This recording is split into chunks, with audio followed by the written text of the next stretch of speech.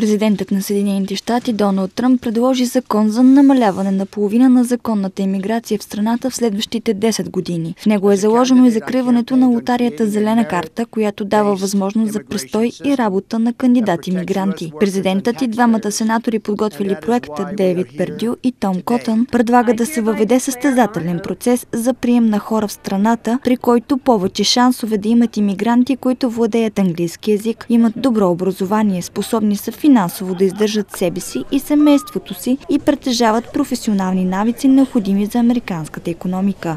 Значение ще има и на каква възраст са и дали са им направени предложения за добре платена работа.